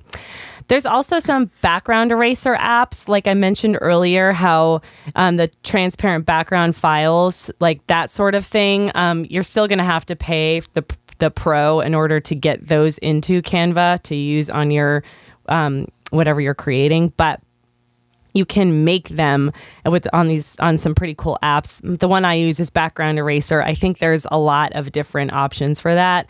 I also use that to create that modern world thing. So I kind of there were a few apps that I had to piece together to make that art actually.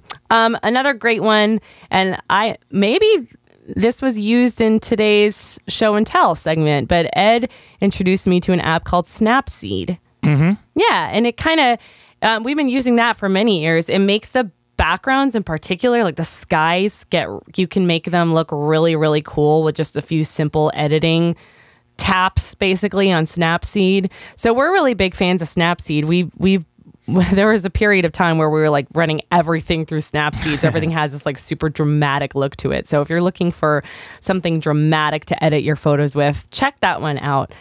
That one's going to be really cool. So Yeah. um, all that said, Ed, have you have you uh, shown the examples yet of the different things that I've made on Canva that I sent with you? Yep. Okay, cool. So we've been through those, and now um, what we'll run for you is I did a little tutorial on how to make a very basic poster from scratch on Canva. I did it using the app. Keep in mind, so um, if you use the web editor, it's going to go a little bit more smooth than what you're about to watch. But regardless, this is just uh, an example of something that you can do. Let's go ahead and make something from scratch though, real quick. So, um, like something without a template. So, let's open up Canva and let's make a poster. Coronavirus poster. I don't know what that is. That's Interesting. But um, okay, so music poster.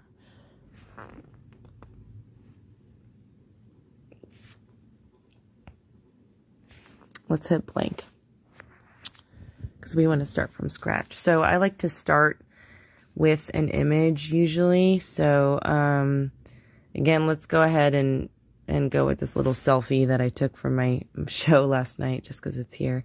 And let's say that I am wanting to do, um, uh, let's say this is for a show, an upcoming show, pretend show, uh, color. So let's hit it. So let's get a background color. Let's go, so you can kind of slide through the bottom here and decide what you want to use.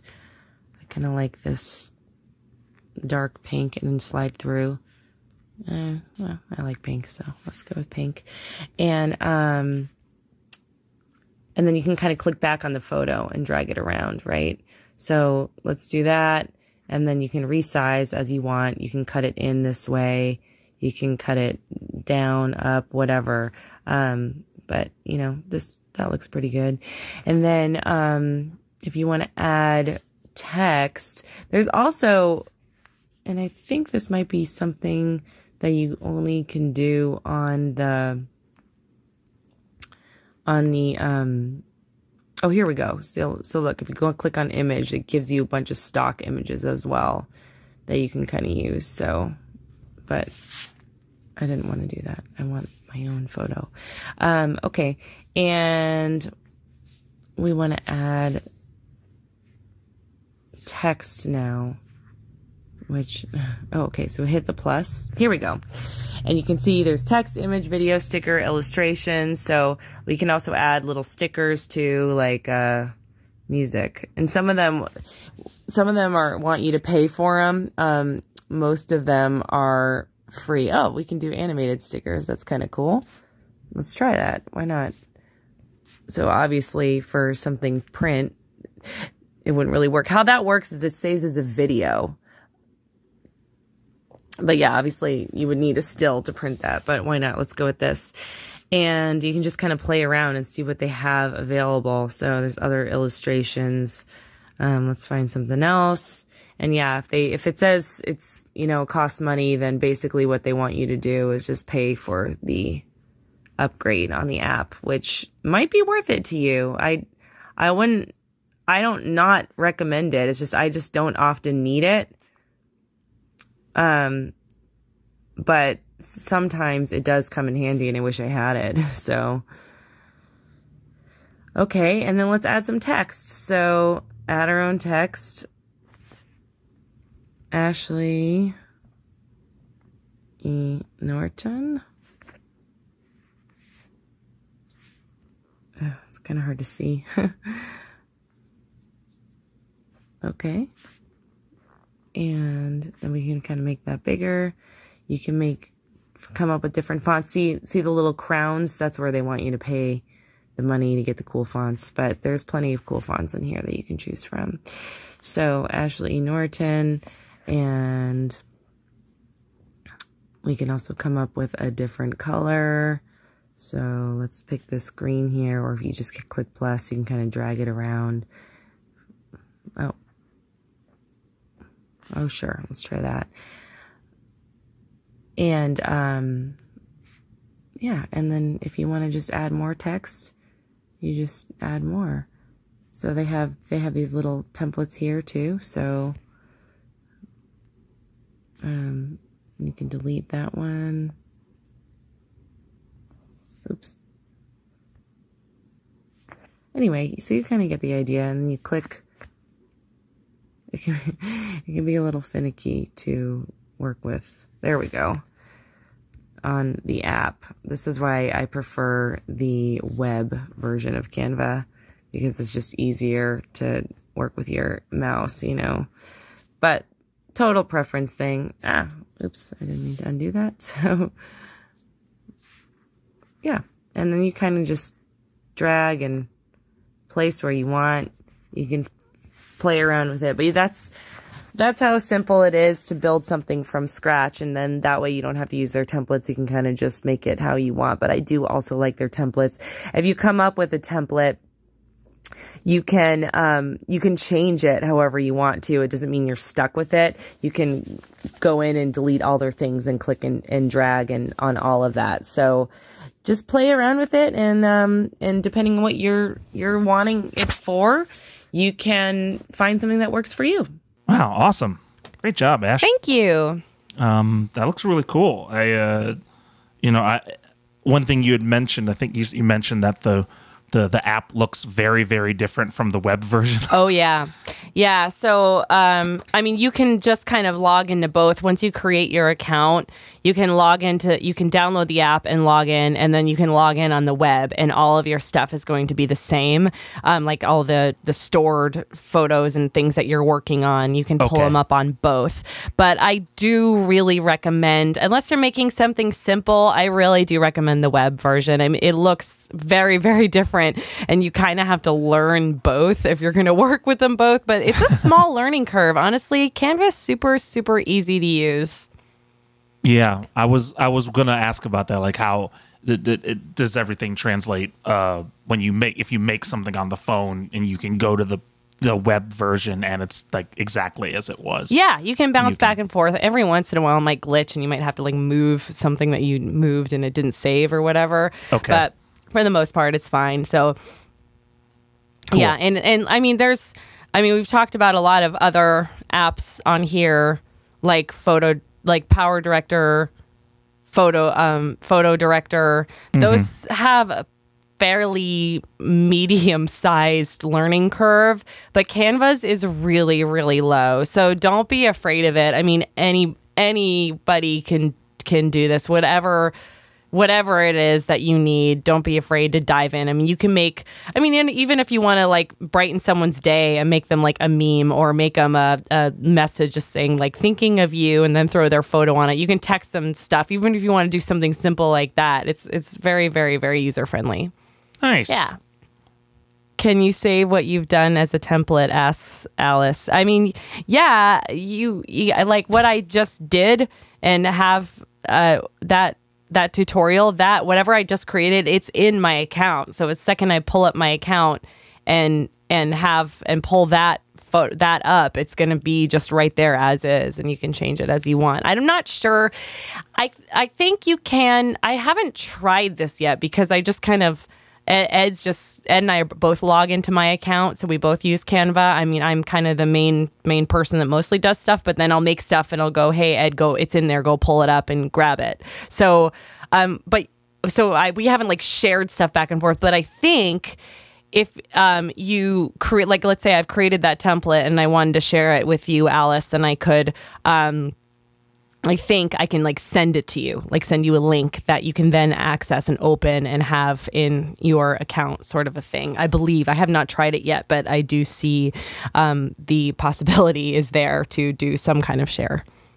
One alternative um, that I think we just kind of settled into um, naturally when we were working with with Canva is if you make if you make anything on it, any design you make on it, you can just duplicate it. And so if you want to organize it that way, create kind of you know make your idea uh, poster idea or whatever it is, and then anytime you need to update it for say like if it's a week a poster for a weekly event, you create the initial poster, and then anytime you need to make a new one with just changing a couple of things, just duplicate it. And then change the information in it. So, Yeah. in effect, the first one you make becomes your template. Yeah, that's So- true. In fact, that's what I do for the crimes against folk show posters that I make every week is all I have Yeah. to do is hit the little three dots. You go to the home screen and you see all of your all of your designs is what you pull up and then everything's there and you hit the little three dots on the side of the one you want to copy and you hit copy and then bam it copies to a whole new thing so you can manipulate that without affecting the original one or the one before it. Yep.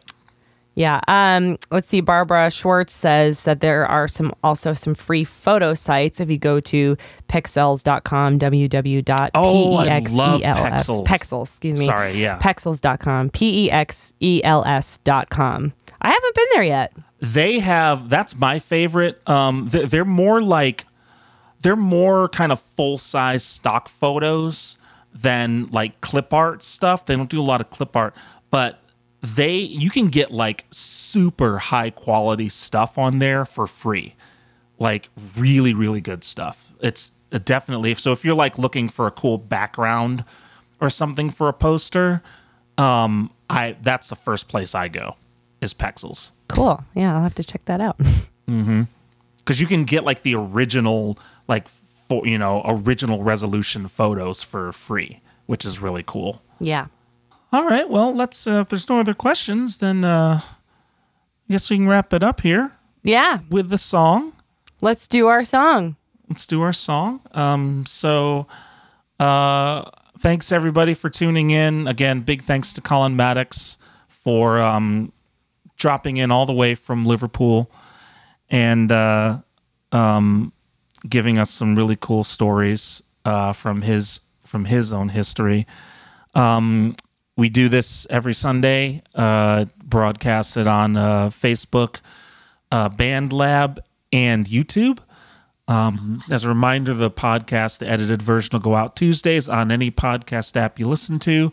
Uh, please feel free to go there, subscribe, uh, give us a like and a review uh, if you're listening and you dig what you hear.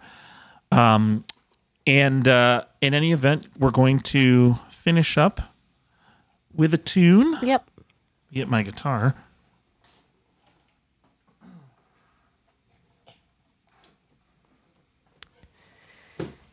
And we'll be back next week with Sylvia Legat, Sylvia Legat.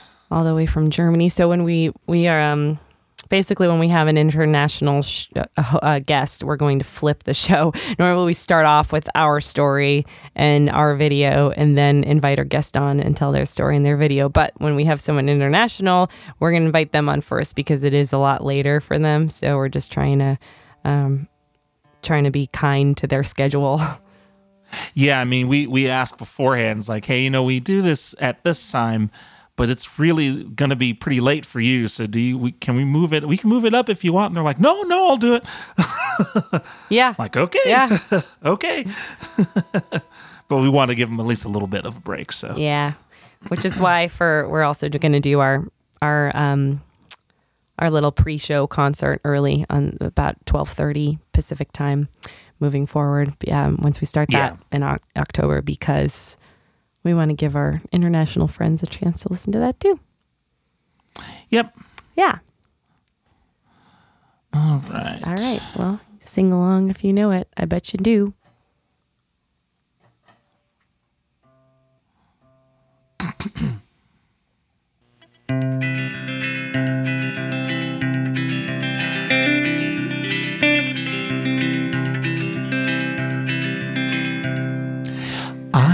just a poor boy, though my story is seldom told. I have squandered my resistance for a pocket full of mumbles, such are promises. All lies and jests, still a man hears what he wants to hear and disregards the rest. Mm-hmm.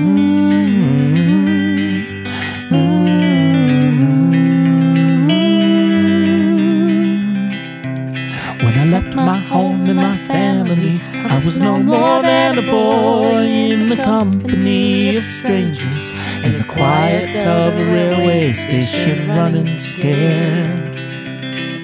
Laying low, seeking out the poor quarters where the ragged people go, looking for the places only they would know.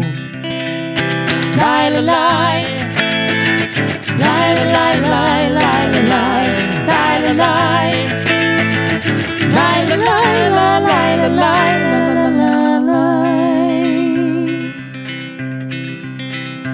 Asking only workmen's wages, I come looking for a job, but I get no offers.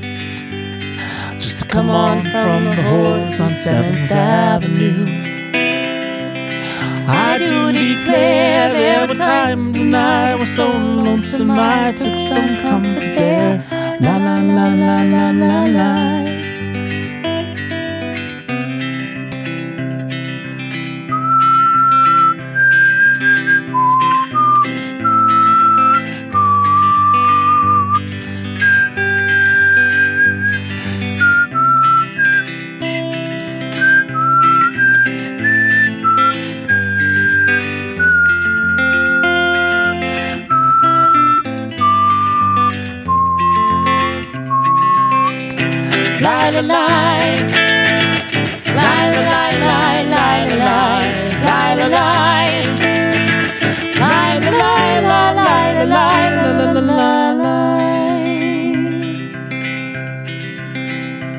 Then I'm laying out my winter clothes and wishing I was gone, going home. Where the New York City winters aren't bleeding me,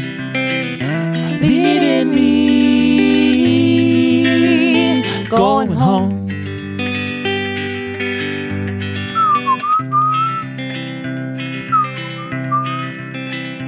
In the clearing stands a boxer and a fighter by his train, and he carries the reminders of every glove that laid him down or cut him till he cried out in his anger and his shame. I am leaving, I am leaving, but the fight still remains.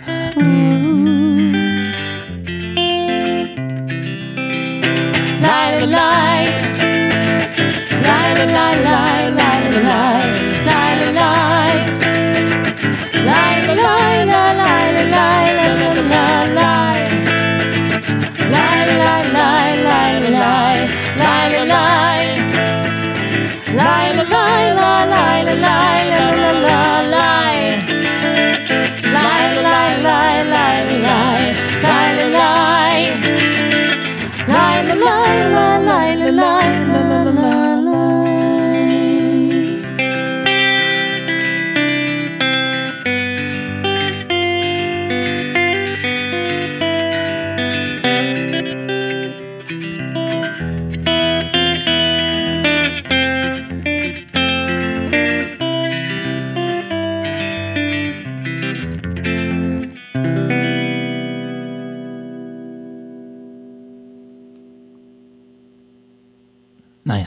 Been a while. Yeah, it has been. I think we played that one out a little bit, so it's nice to take a break and bring it Yeah. back. yeah, yeah, absolutely. All right, well, good show, Ed. Good show, Ash. Good show. Thank you to everybody again um, for joining us. Yeah. And uh, we will see you next Sunday with uh, our wonderful guest, Sylvia Lagat. Yeah, can't wait. Love Sylvia. All right. Take care, y'all. Stay Bye. safe. Bye.